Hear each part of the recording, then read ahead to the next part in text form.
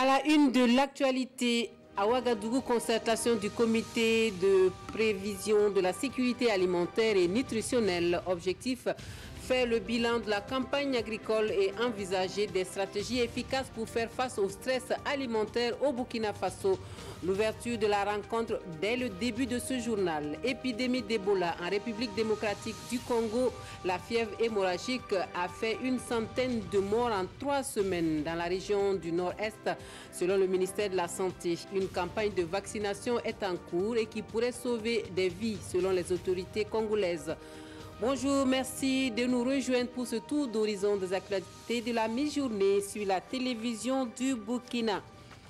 Cela dit, le stress alimentaire serait une réalité pour des centaines de milliers de personnes au Burkina Faso malgré la campagne agricole qui enregistre une hausse de 21% cette année. La situation pourrait s'aggraver si rien n'est fait. Les membres du comité de prévision sur la sécurité alimentaire et nutritionnelle planchent sur la question à Ouagadougou. La concertation a également pour objectif de valider les résultats définitifs de la campagne agricole fourragère et de définir des stratégies et actions pour lutter contre l'insécurité alimentaire. Roger Kam, Omar Zombré pour les précisions. Le bilan de la campagne agricole 2018-2019 passé au peigne fin à cette première session du comité de prévision sur la sécurité alimentaire et nutritionnelle. Si la campagne agricole est globalement satisfaisante avec une hausse de 21% de la production enregistrée, soit environ 5 millions de tonnes de céréales, il est à noter que près de 307 000 personnes sont en situation de stress alimentaire. Et si rien n'est fait, le nombre pourrait grimper à 676 200 pendant les périodes de soudure. Le gouvernement, pour pouvoir faire face à cette situation, a mis en place un plan de réponse de 27 milliards. Et cette 27 milliards, c'est vraiment pour anticiper, parce que nous savons qu'il euh, y a des personnes qui seront en, stress entre, entre, juin et août, euh, au moment de la période de culture. Donc à ce moment, il faut prévoir permettre à ces gens-là de pouvoir se nourrir pour mieux cultiver et pouvoir nous permettre vraiment euh, de répondre aux besoins alimentaires du pays. Selon le ministre de l'Agriculture, le plan de réponse déjà en marche va s'étaler sur plusieurs phases. Aujourd'hui, nous sommes en train de voir euh, avec l'ensemble des bailleurs de fonds, avec les partenaires techniques et financiers, avec les ONG, quelle pourrait être la contribution de chacun pour que ce plan, nous puissions réunir l'ensemble des moyens qu'il faut afin de mettre euh, de façon cohérente et efficace réponse. En plus de la validation du bilan définitif de la campagne écoulée et de la revue conjointe de la situation alimentaire et nutritionnelle, il s'agira pour les participants de cette session de dessiner une feuille de route des actions à mener dans la lutte contre l'insécurité alimentaire et nutritionnelle. La foire internationale de Bobo Dioulasso referme ses portes sur une note de satisfaction générale. La septième FIBO dédiée à la promotion de l'artisanat et de l'agroalimentaire aura donné à voir et à apprécier une fois de plus le potentiel du Burkina Faso en matière de production agro-silvopastorale et de convaincre les plus sceptiques sur la capacité du pays à relever le défi de la sécurité alimentaire. Notamment, on fait le bilan complet de cette semaine d'activité commerciale avec Karim Ilboudo, Siriki Milogo et Mireille Carole Touma. Après une semaine de promotion et de valorisation des produits agroalimentaires et artisanaux, la foire internationale de Bobo Dioulasso FIBO prend ainsi fin.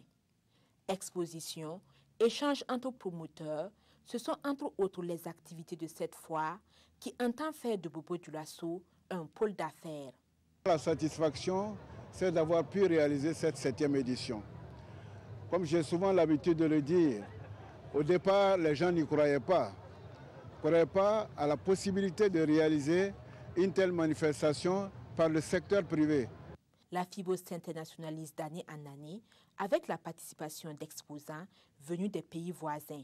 Nous rendons compte que FIBO attend de prendre de l'ampleur et je crois que la commune de Bobo Dioulasso, avec euh, son conseil municipal, va s'engager auprès de l'organisateur, en tout cas pour que en 2021, et plus, doit en tout cas, va être plus en tout cas éclatante que, que ça.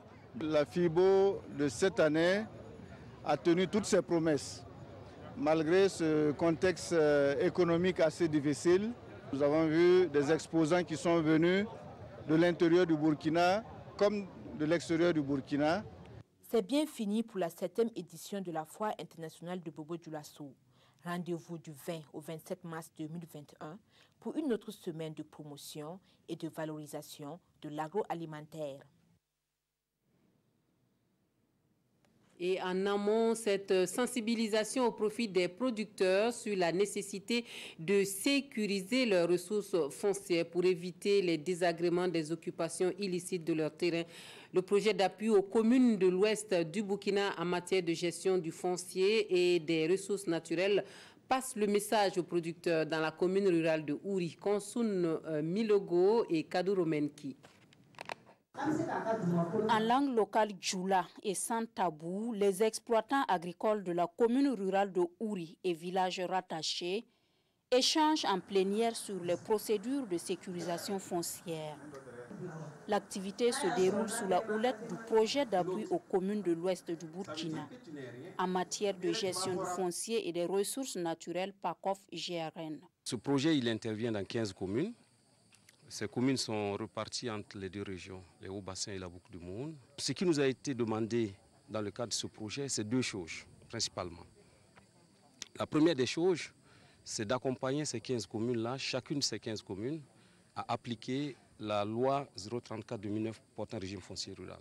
Cette loi devrait leur permettre de se sécuriser à travers une procédure qui est bien décrite et au bout de laquelle il y a un acte qui est délivré que l'on appelle l'attestation de possession foncière rurale, l'APFR. Deuxième objectif principal de cette loi, c'est de faire en sorte que la sécurisation foncière ne soit pas une fin en soi. Il faut que le papier serve à quelque chose. Et ça, dans le cadre du projet, nous appelons l'accompagnement aux investissements. Des structures locales sont implantées dans chaque village pour recevoir les demandes d'attestation de possession foncière rurale à PFR. Une fois la demande validée, intervient l'étape de limitation des contours du terrain, appelée opération de constatation foncière. Une opération qui se déroule publiquement afin d'éviter toute polémique sur la paternité des lieux. Il est bon d'avoir l'attestation de possession foncière rurale. C'est un papier qui te met à l'abri de bien de désagréments. Nous, nous sommes actuellement à 130 demandes au niveau de la commune, mais nous sommes à notre troisième constatation. Les documents administratifs comme l'attestation de possession foncière rurale et le titre foncier devraient permettre de contrecarrer la supercherie et autres litiges relatifs aux fonciers dans le Grand Ouest du Burkina. D'accompagnement financier, l'Union d'action pour la finance islamique section Burkina Faso animé une conférence euh, publique ce samedi à Ouagadougou pour discuter des questions de finances islamiques au Burkina, un espoir pour la jeunesse. Le cadre d'échange a aussi pour objectif de promouvoir la finance islamique dans le pays et surtout d'assurer l'inclusion financière afin d'accompagner la jeunesse à réussir ses projets. Adama Giti Moumouni Soubega. C'est une conférence publique pour faire connaître la finance islamique au Burkina. Selon l'UAFI-BF, l'Union d'action pour la finance islamique section Burkina Faso, initiatrice de la présente conférence, la finance islamique est une trouvaille de développement qui comporte de nombreux avantages. Alors, le premier grand point qui est le plus important, c'est ce qu'on pourrait qualifier de, principe d'interdiction du riba. Vous savez que le riba, c'est un terme arabe, mais eh, pour comprendre facilement, on va donc traduire par l'intérêt, donc principe d'interdiction de l'intérêt. Quand vous savez que tout le système bancaire classique est basé donc sur l'intérêt et que ici, dans la finance islamique, euh, il est prohibé donc de pratiquer de l'intérêt, on voit déjà donc une grande, grande différence. Mais attention, ne pas pratiquer d'intérêt ne veut pas aussi dire donc ne pas chercher de l'argent, ne pas gagner des revenus. Pour le président de l'UAFI-BF, la jeunesse est la couche sociale la plus défavorisée dans le système de financement conventionnel, une tendance que la finance islamique compte inverser. L'objectif euh, global ici, c'est de participer à la promotion de la finance islamique au Burkina. Également, nous voulons également expliquer ce que c'est que la finance islamique euh, à l'ensemble des Burkinabés. Tout simplement que les gens sachent que la finance islamique, ce n'est pas une finance des musulmans, mais c'est une finance tout court qui veut le bonheur de l'être humain. La finance islamique au Burkina Faso, un espoir pour la jeunesse, c'est le thème de cette conférence publique. L'UAFI BF est une association laïque de finances. Elle est financée par la Banque islamique de développement. Et hier dimanche, les fidèles catholiques du diocèse de Gawa se sont donné rendez-vous à Bomoy pour le pèlerinage annuel. Avec les jeunes allant à Bomoy à la rencontre du Seigneur, c'est le thème de ce pèlerinage diocésain qui va mobiliser des fidèles catholiques qui sont venus prier pour le raffermissement de la foi en Christ. Les temps forts de ce moment avec Alassane Bani et Hahadi Sandamba. C'est une messe d'action de grâce, dit ici à Bomoy, après une veillée de louanges, d'intercession et de délivrance. Ils sont plusieurs milliers venus des sept paroisses du diocèse de Gawa pour ce pèlerinage. Un pèlerinage plein de sens pour chaque fidèle catholique présent. Je suis à la recherche d'un enfant, mais j'ai des maux de ventre. Bon, c'est ça, j'ai prié pour que ça finisse afin qu'il euh, puisse me donner un enfant. Et puis j'ai fait intégration aussi, ça n'a pas donné. J'ai prié pour ça aussi. En venant ici à Boumain, c'est pour, c'est pour perfectionner notre foi, être sûr de ce qu'on fait, être convaincu et pouvoir convaincre d'autres aussi à persévérer dans la foi. Seul Dieu seul peut sauver les gens. Nous sommes remontés à la source pour puiser vraiment les forces dans ce temps de carême qui nous conduit à Pâques pour pouvoir avancer dans notre effort de conversion avec la grâce de Dieu. Mais au-delà des vœux individuels, le diocèse de Gawa a à cet effet prié pour la paix et la cohésion sociale au Burkina Faso. Notre célébration eucharistique a été donc en faveur de la paix. Et à la fin de la messe, nous avons dit la prière pour la paix au Burkina Faso. Que le Seigneur nous écoute, qu'il nous exauce, que nous connaissions vraiment la paix dans notre Burkina Faso. Bomoy est la source de l'Église catholique dans le sud-ouest. C'est ici que les premiers missionnaires se sont installés pour évangéliser l'ensemble de la région, nous confie l'évêque du diocèse de Gawa. Et cette année, la jeunesse est au cœur du pèlerinage de Bomoy. Nous voulons accompagner nos jeunes ici pour qu'ils puissent découvrir Bomoy qui est un lieu important pour nous et que la jeunesse aide vraiment l'Église à aller de l'avant amène notre société à devenir meilleure sur tous les plans. Instauré au niveau paroissial depuis plusieurs décennies, le pèlerinage de Beaumoy a pris un tournant décisif depuis 2013 en devenant diocésain. Il est effectué chaque cinquième dimanche du temps de carême chrétien et connaît désormais la participation d'autres diocèses du pays et même au-delà. En littérature, les mémoires du docteur vétérinaire Moussa Rogetal euh, sont publiques depuis ce week-end. Une merveilleuse aventure, la vie de Moussa Rogetal. Euh, c'est le titre de cet ouvrage autobiographique dédicacé ce samedi en l'absence de l'auteur décédé trois semaines plus tôt. La dédicace a pour prétexte la commémoration des 20 ans du manifeste pour la liberté dont le défunt auteur était membre. Urbain Benito Sommet, Vincent Kendrebego. Merveilleuse aventure, la vie de Moussa Roger. C'est l'œuvre autobiographique du docteur vétérinaire Moussa Roger Tal. Son enfance, ses études, ses formations et carrières professionnelles et ses engagements au sein de plusieurs mouvements de lutte sont retracés dans cet ouvrage marqué de confidence. Tal Moussa Roger est né en 1936 et il est mort euh, le 13 mars dernier dans sa 83e année. Donc il a traversé euh, l'histoire de notre pays, du continent, d'une manière générale. Donc euh, personnellement, j'ai été curieux de voir euh, comment les choses se passaient à l'époque coloniale. Par exemple, dans nos États, il est né dans la ville de Wayugia, ensuite il a fait ses études au Mali, en Côte d'Ivoire, en France, donc toutes les étapes de sa formation et puis aussi à sa participation aux associations. Moussa Rougetal était en train d'organiser la publication de ses mémoires, mais sera arraché le 13 mars dernier à l'affection de sa famille et de ses compagnons de lutte, notamment ceux du mouvement du Manifeste pour la liberté qui commémore ses 20 ans. L'occasion de lui rendre hommage. Nous avions préparé ensemble cette conférence on avait retenu la date d'aujourd'hui pour la présentation du premier tome de ses mémoires. Malheureusement, il est décédé entre-temps, mais avec l'accord de sa famille, nous avons euh, maintenu cette conférence-là. Cet ouvrage de 597 pages n'est que le tome 1 des mémoires du docteur Tal, qui avait bien pris le soin de désigner des universitaires bien avisés pour écrire le reste de son histoire. En culture, c'est l'une des figures les plus dynamiques de la diaspora burkinabé aux États-Unis d'Amérique. Grâce à lui, la musique du Faso résonne dans les cérémonies au pays de l'oncle Sam. Lui, c'est Gérard Kuala, animateur de cérémonies festives, promoteur du festival Waga New York, le FONI, un événement culturel qui fait la promotion de la culture, notamment de la musique burkinabé aux USA. Voici Gérard Kuala en pleine prestation à Harlem et c'est Draman Guéné qui a suivi ce moment pour nous. Grand featuring DJ Barça premier, Sofiano, la chorale.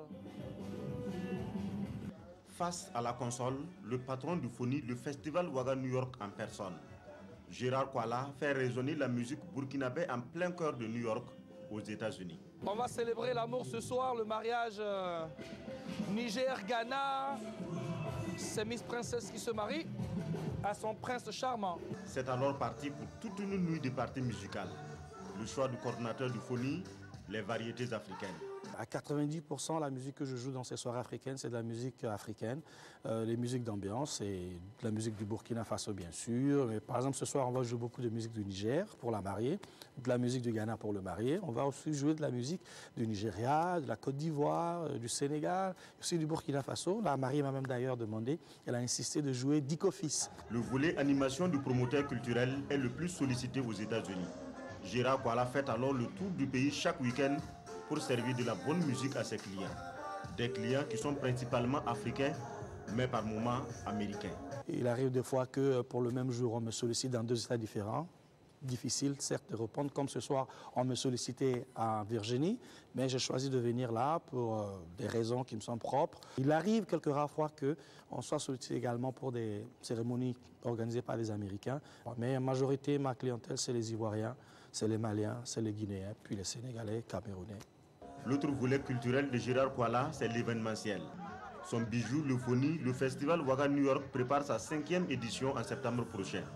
Le Foni 2019 ne sera pas uniquement réservé aux artistes burkinabés, c'est la promotion de la culture sans frontières. Alors, nous allons tout simplement ouvrir le plateau du Foni à toutes les autres cultures africaines. On aura par exemple des invités euh, venant d'autres pays d'Afrique. Et puis, ben, ensemble, nous allons magnifier la culture tout court. Pour cette année, en innovation, nous ferons le Foni gratuitement à l'air libre où tout le monde pourra venir, euh, euh, voilà, comme il le veut, s'arrêter, regarder, sans débourser un centime. Le Foni 2019, la liste des artistes n'est pas encore dressée, mais une chose est sûre, beaucoup de musiciens burkinabés seront invités. La Actualité hors du Burkina Faso et nous allons en République démocratique euh, du Congo où le pays fait face à une épidémie d'Ebola, une épidémie euh, qui a fait plusieurs centaines de morts depuis le mois d'août où euh, les premiers cas ont été détectés et 100 morts en trois semaines dans le nord-est du pays. C'est le dixième épisode de la fièvre hémorragique sur le sol congolais depuis 1976 est la plus grave donc euh, de l'histoire de la maladie. Progression foudroyante d'Ebola au nord-est de la République démocratique du Congo. L'épidémie a fait 100 morts dans la région en moins de trois semaines, selon le dernier décompte quotidien publié par le ministère de la Santé vendredi soir. Depuis que cette épidémie a été déclarée le 1er août, le total de décès est de plus de 700. La province du Nord Kivu a été la première à être concernée et marginalement l'Itourie voisine. L'épicentre s'est ensuite déplacé de Mangina en zone rurale à la ville de Beni, puis actuellement à Butembo-Katoa, à 50 km au sud de Beni, dans cette région où les populations se déplacent beaucoup. Quelques 95 000 personnes ont été vaccinées contre Ebola en RDC. Le ministère congolais de la Santé estime que la campagne a sauvé des vies. Reste que cette dixième épidémie de fièvre hémorragique sur le sol congolais depuis 1976 est la plus grave de l'histoire de la maladie après celle qui a tué plus de 10 000 personnes en Guinée, au Libéria et en Sierra Leone en 2014. Les quotidiens burkinabés de ce lundi commentent le génocide des Tutsis au Rwanda et abordent les sujets d'actualité tels le dialogue politique, la réconciliation nationale, la revue de presse avec Vincent Kindrebego. Politique nationale, il faut recentrer le débat. C'est l'édito de Sidouaya qui commente le dialogue politique enclenché semaine passée avec des rencontres entre le président du Faso et les partis politiques de la majorité de l'opposition. Il est grand temps de recentrer le débat politique sur ce qui unit, ce qui rassemble, écrit le journal. Il s'agira de passer de la polémique stérile aux propositions concrètes, le but ultime du dialogue politique annoncé étant la recherche de la cohésion et du consensus, toujours privilégié par le chef de l'État. Beaucoup de gens avaient une vision étriquée du H-Kroon. C'est une déclaration du président de cette institution à la une du journal Le Pays à l'occasion de la présentation de son rapport au président du Faso. La mission du H-Crew n'était pas bien cernée au départ par les uns et les autres, explique Léandre Bassolé. Beaucoup comprennent maintenant que quand ils viennent à nous, ce n'est pas pour qu'on traite leur dossier et leur disent qu'il y a une telle indemnisation, ajoute le président du avant de conclure qu'il nous faut travailler à laisser une mémoire que nous avons été capables d'aller chercher au plus profond de nous-mêmes des raisons de dépasser ces moments douloureux. Au Rwanda, zone d'ombre et suspicion persistent 25 ans après le génocide. C'est l'édito de Aujourd'hui au Faso qui soulève beaucoup de questions. Qui a tiré sur le mystère 50 qui transportait le président rwandais et son homologue burundais le 6 avril 1994 L'opération turquoise, opération humanitaire et guerrière, entre la France et le Rwanda, les sujets qui fâchent sont toujours pendants, alors que le Rwanda tient à l'officialisation de la culpabilité française. Kagame tient toujours la France par la barbichette, ajoute le pays, et c'est à juste titre qu'il lui demande de s'excuser publiquement. En attendant, l'observateur Palga s'inquiète de notre propre situation avec des violences communautaires à répétition. Puissions-nous tirer des leçons? Titre ce journal sur un commentaire signé de la rédaction. On s'arrête ici pour les actualités de la mi-journée. Merci de votre attention. Très bon après-midi à tous.